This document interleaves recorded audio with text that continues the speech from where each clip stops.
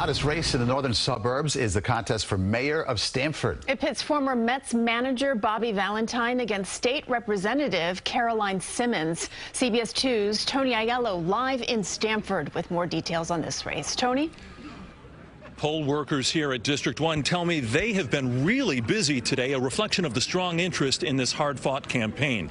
Bobby Valentine, who led the New York Mets to the 2000 World Series, taking his first swing at elected office, versus State Rep Caroline Simmons, who is, uh, she managed to knock out the sitting mayor, uh, knock him right out of this contest in the primary.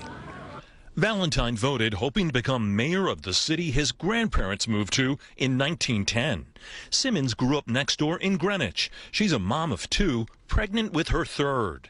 Both candidates took a pledge to avoid negative campaigning, but managed to get in digs at each other when I interviewed them in October. I definitely won't hold her lack of experience or her age against her, that's for sure. I probably know uh, just as much about being a baseball manager as he knows about government. Across the state line in Westchester, incumbent county executive Democrat George Latimer is seeking a second term versus Republican Christine Sculti, a first-time candidate. Rockland County Republican Ed Day is seeking re-election, opposed by Democrat Latanya Watkins. And back here in Stamford, Bobby Valentine is running as an unaffiliated candidate with the tacit support of the local GOP, while Caroline Simmons is on the Democratic and the Independence Party lines. The polls here in Stamford close at 8 o'clock.